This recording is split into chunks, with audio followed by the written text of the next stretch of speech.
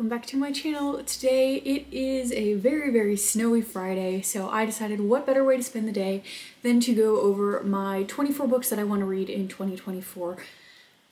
I probably should have established this a little bit earlier in the month but you know what I ease my way into January and everything like that so that's why it's it, it's only being done now but I have an entire list on my phone. I have some books on the list that I already own, and then I have books that I don't own but want, or ones that are going to be new releases. So we're going to start with the ones that I do own, because I feel like that makes the most sense. So, diving right into it. First up, we have Swordcatcher by Cassandra Clare. I've talked about this already on at least one or two of my videos because it was in a monthly TBR, and I just didn't get to it. So Oops. but this is Cassandra Clare's first adult fantasy. It is about a young boy who is considered a sword catcher. He is the body double for someone in the royal family, and his whole purpose in life is to be a sword catcher. He is meant to die for the person he is doubling as. And he meets this young woman who is a physician, and she has rare magical abilities, eh, a failed assassination attempt brings them together and it says that they sort of get roped into this whole world with another sort of like important figure or leader or something like that. And like it says as long as as long kept secrets unravel they must ask themselves can forbidden love bring down a kingdom? And will their discoveries plunge the nation into war and the world into chaos? So i'm not really sure how we get to that dramatic of a question but it, somehow we get there. So I'm really excited about it. I love Cassandra Clare's writing. I love the Mortal Instruments series, and I'm very excited to see what she does with an adult fantasy. Next up, we have Starling House.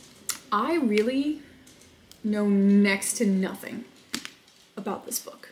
I just know that everybody seemed to love it, so I really wanted to give it a try, and I got this beautiful edition from Illumicrate, so it's on my list. Uh, but I, I, yeah, I really know nothing about it. It says that nobody in Eden remembers when Starling House was built, but the town agrees it's best to let this ill-omened mansion and its last lonely heir go to hell.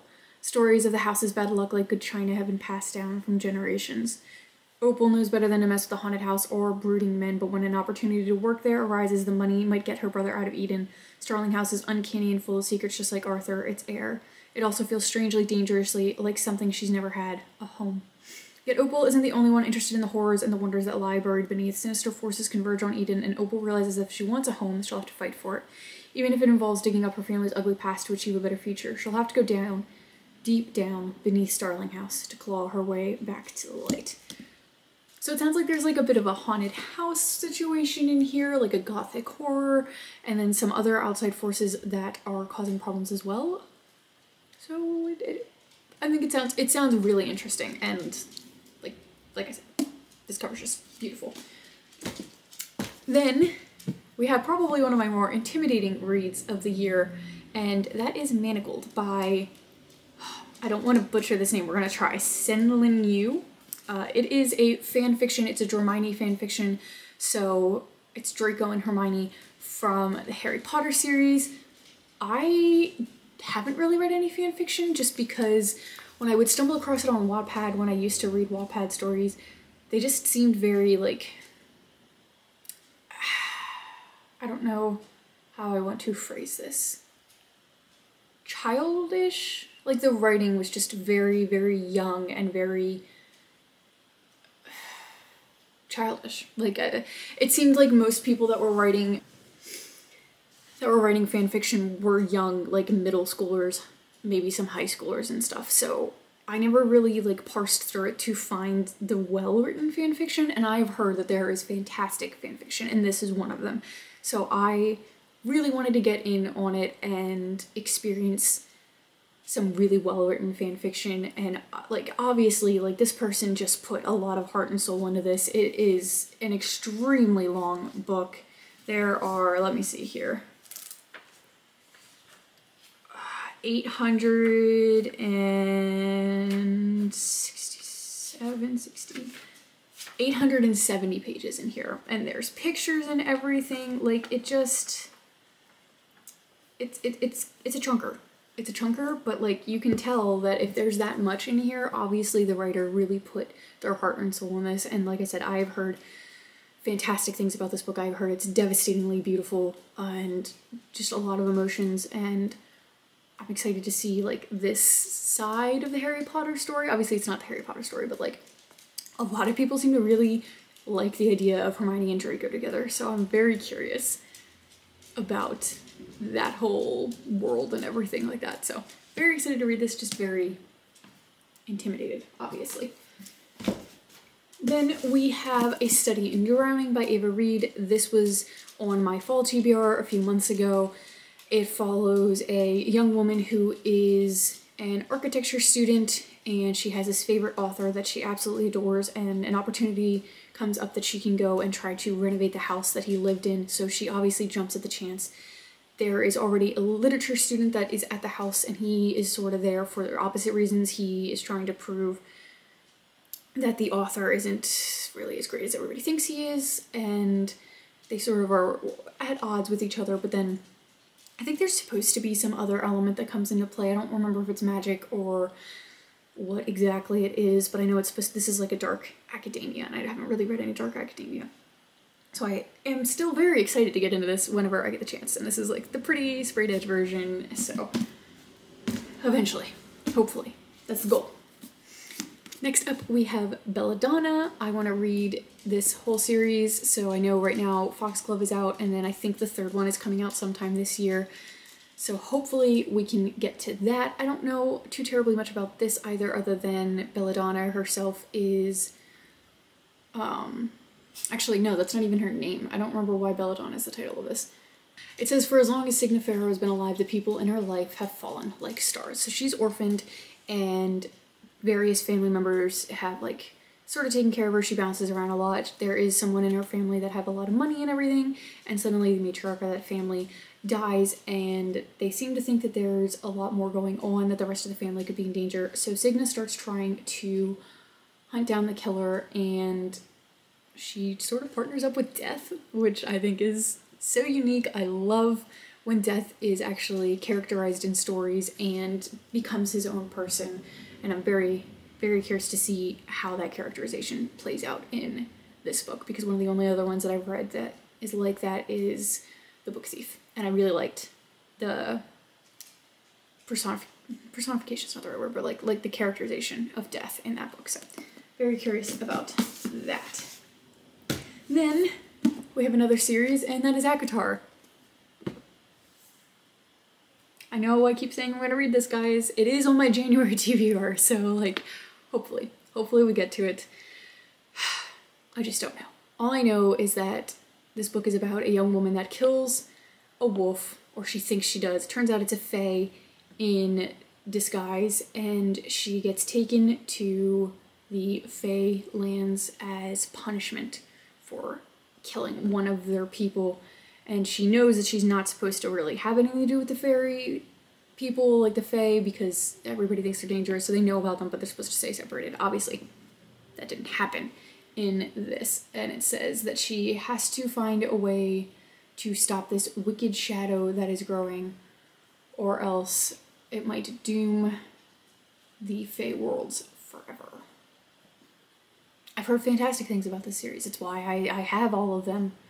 Just I don't know. I keep putting it off because I'm really worried that it's not going to live up to the hype for me. Then we have After the Forest by Kell Woods. I will say, the fact that her last name is Woods never really occurred to me until I tried to read the title and I went, wait a minute, which words which words are the right one? Stupid, I know. Uh, but this is a fantasy. It is supposed to be sort of a continuation of the story of Hansel and Gretel after they escape the witch's cabin. That's about all I got for this one. That's all I know. But I like the idea of a, a story continuation for that. Then we have One for My Enemy by Olivia Blake. This was also on my fall TBR, and I just I just didn't get to it. I had too many on my fall TBR, so that's the problem. But uh, I think so I know the reason that I bought this originally is because Sarah Caroli was talking about it on one of her YouTube videos that I had watched and it sounded really good. I know that it is more of an urban fantasy. It's set in like modern day Manhattan and there are two rival witch families that are sort of like obviously against each other. And I think I might be wrong. I thought there was like a marriage of convenience in here, but I don't think that's accurate. I it says that they're all fighting to maintain control. So it's about two rival witch families in Manhattan. That's all I got. Next up, we have The Hating Game by Sally Thorne. This is on my list because I watched the movie with Lucy Hale in 2022, maybe 2023. I can't quite remember. I guess it depends on when it came out. Shortly after it came out, and it is a workplace rivals to lovers romance type setting. And I really, really liked the movie. It was so funny. I felt like the like her character was like the cute, quirky girl that I actually really enjoyed, and I just I loved it. It was it was cute. It was sweet. It was the perfect rom rom com chick flick type thing. So I'm really hoping that the book does the movie justice, which is very weird to say. I should, uh, not normally one to say that the movie is better than the book, but I really like the movie. So then we have uh, My Dark Romeo. I think this is meant to be like a Romeo and Juliet retelling, but that's about all I know for this one. And I'm okay with this, you know? I'm not gonna, I, I don't really want to go into this one trying to figure out the plot, so we're gonna leave it at Romeo and Juliet retelling. Then we have House of Salt and Sorrow. I think that this one is another fantasy. Uh, it says that she lives a sheltered life at Highmoor with her sisters. There were once 12 of them, but now four of the girls' lives have been cut short, each death more tragic than the last. The main character, Annaleigh, has ghostly visions, uh, and she starts to think that her sister's deaths weren't accidents. The girls have been sneaking out every night to attend glittering balls, dancing until dawn in silk gowns and shimmering slippers, and Lee isn't sure whether to try to stop them or to join their forbidden trysts, but who or what are they really dancing with? When her involvement with a mysterious stranger with secrets of his own intensifies, it's a race to unravel the darkness that has fallen over her family before it claims her next. It is a spellbinding novel filled with magic and the rustle of gossamer skirts down long, dark hallways. So it just sounds perfect. It gives maybe like a little bit of a gothic horror again, maybe, and just like the glittering ball gowns and the princess vibes with like a darker setting. So that sort of drew me in when I saw it. Next up, we have These Hollow Vows by Lexi Ryan.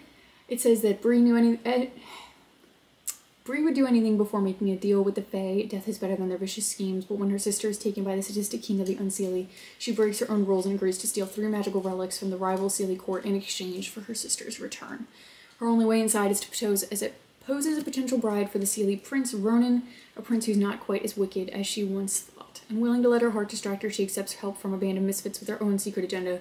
But as Bree spends time with their mysterious leader, Finn, she finds herself struggling to resist his seductive charm. Caught between two dangerous courts, Bree must decide who to trust with her loyalty and with her heart.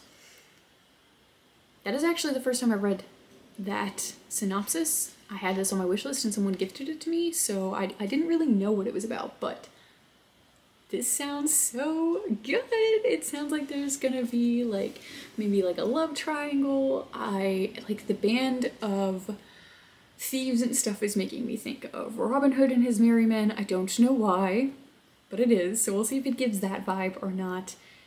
And you throw Fae in there and it gets really good anyway. So I'm very excited about this I know that there is a sequel. I think it's only a duology, hopefully. Next up we have Ruthless Vows by Rebecca Ross. This is the sequel and final book for the Letters of Enchantment series. Divine Rivals is the first one and I finished that in December I adored it. I adored that book. Everything about it is so magical and so sweet, and the writing is so poetic, and the romance in there is just everything that you want an adorable romance to be. I could not get enough of these characters. Uh, Roman and Iris are just, they're perfect for each other. They're absolutely like the epitome of soulmates and their love story was written so well. I love the letters and uh, the correspondence between them and, and the way that they fall in love with each other before they even realize that they are. It just, I, I loved it. I, I can't wait to read this book. I'm so excited about getting back into their world. And I know I say excited about every book. I'm sorry, but like I'm always excited about my books. So I'm going to keep saying it. I know it's irritating hearing me say that repeatedly. Someday I'll find a different word to use, maybe. but yeah, can't wait to read this sequel and see how their story ends. Hopefully, hopefully it's a happy ending. I want it to be a happy ending. Next up, we have Wildfire by Hannah Grace. I read Icebreaker in December and absolutely adored that book. So of course I had to go and I had to get the next one in the series. This one follows Russ which is one of the hockey players. He has a one night stand with someone named Aurora, and he doesn't even get to really ask her name, which I love because Aurora is such a princess name for Sleeping Beauty, and he she slipped away before he could ask her name, and that sounds so fairy tale. Anyway. so they end up running into each other again later at a summer camp, and the camp has a very strict no fraternization rule, but of course, like, that's probably gonna happen. It's probably gonna happen, right? So I'm very excited to read this, to get back into this world with all of the hockey guys. I'm hoping that the fam family is still in here, even though they're not at the college setting. I'm excited that it's at a summer camp because I worked at a summer camp in high school and loved every summer that I spent there. So very excited about that setting. The last book that I have a physical copy of currently is Dance of Thieves. This is a duology that I really want to read. I know it is sort of about an outlaw family that claims to be the first among nations. Uh, I think. You know what? I really don't know what this is about. I thought I did, but now I'm reading the back of this and I'm not entirely sure that I know what it's about, and that's okay, but I, I I've seen a lot of people post about this and they really love it, so I'm excited to read that one. I'm sorry that I don't have good synopsises for you guys sometimes. Sometimes I really do try to go into these books blind and I pick them because other people seem to love them. And that's just sort of how I am. So I'm sorry about that. Moving on to the books that I don't have physical copies of, I am going to look at my phone because I have a terrible memory. So I have to look at my phone on the list to see what they are. Uh, first up, we have the Natural series. Everybody keeps raving that this is like a YA Criminal Minds and I adore Criminal Minds, so of course I have to read books that are like YA versions of that. My roommate, well, she was my roommate, like one of my really good friends when she lived with me, she has just as an extensive a collection of books as I do, and she had these books years ago before they like blew up and she kept telling me to read them and I never got around to them and now I'm kicking myself for not getting to them. But we're gonna get to them this year. Uh, then we have the Darker Shade of Magic series by V.E. Schwab. I don't know really anything about this series. I know it's more of an adult fantasy and people really love his fantasy books, so I just, I really want to give him a try because I've heard a lot about him as an author. Then we have the One Dark Window duology. I have seen this literally everywhere. People are saying that if they liked Fourth Wing, they liked this better than Fourth Wing. And I gotta figure out if that's true or not. I know that it's a fantasy and there's some kind of, it's like a mist or a fog or something like that and an illness that people have and then there's something with like these magical cards that you have to collect. Like, I really am not 100% sure what the plotline is other than like those ideas that I keep hearing consistently for people's reviews of this book. But everybody seems to absolutely rave about it and I've been wanting to read it for a while.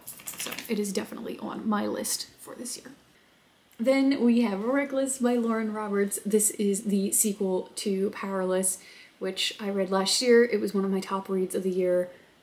And I just, I, I can't wait to see what happens with Kai and Paedyn and their story. I, I see more of the angst to get back into the that world. Like I'm so excited, guys. I already I already have two copies of this book ordered. yeah, I have a problem. Moving on from that. Then we have A Touch of Chaos by Scarlett St. Clair. This is the final book in her Hades Persephone Hades saga, like that whole series.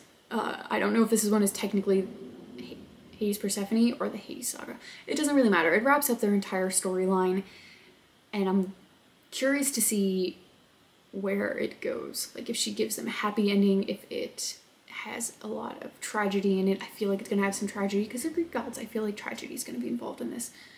But I'm just excited to see how it wraps up because I absolutely loved that series last year and I was very, very surprised by that.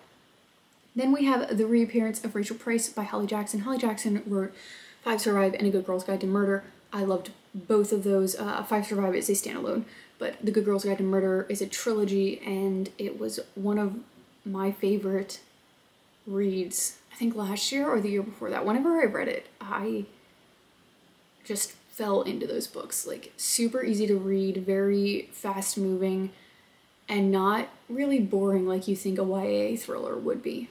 So I'm really really curious what she's to do with a new storyline. I know that this follows a young girl whose mom went missing, I don't remember how many years prior, and then all of a sudden she just reappears, hence the title.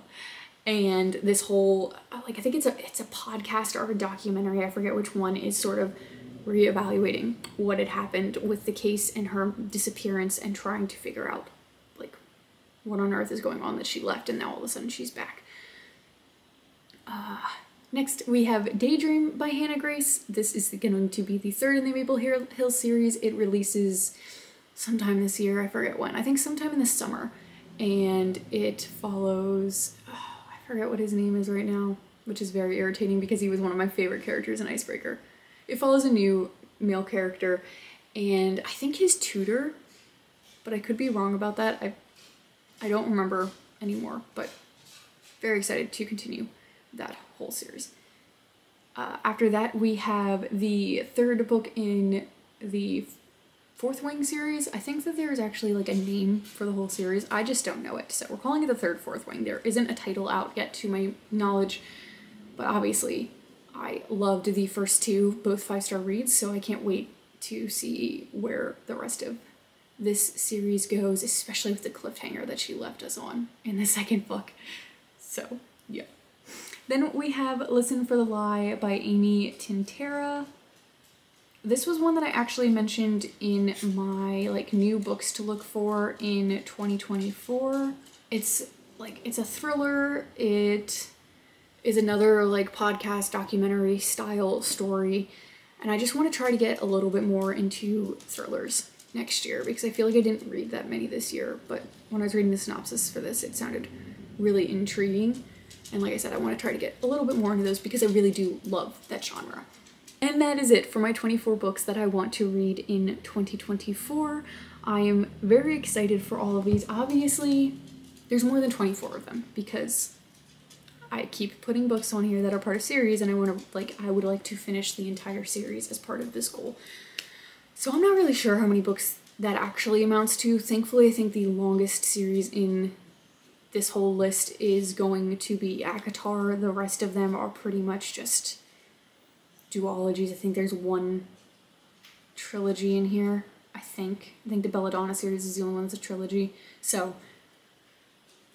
I, I struggle. I struggle to pick standalones. I like series. I like being able to stay in the world for for multiple books. I, I, I, don't, I don't have anything else to say about it other than that. so anyway, those are the 24 books that I want to read this year. Let me know in the comments what some of your top reads are going to be this year, like what your most anticipated reads are. Uh, maybe I'll add some more to my list. Maybe we have some in common. I'm very curious to know. But that is the end. I hope that you liked this video. If you did, please leave a like and subscribe if you haven't already. It really does mean a lot to me. And I hope that you are having a great day, a great week, if you've gotten some snow recently, I hope that you're enjoying it. I like looking at it. It's very pretty. I just don't like going out in it. But I hope that you guys are enjoying it in whatever form you've had it. And I will see you guys very, very soon. Bye.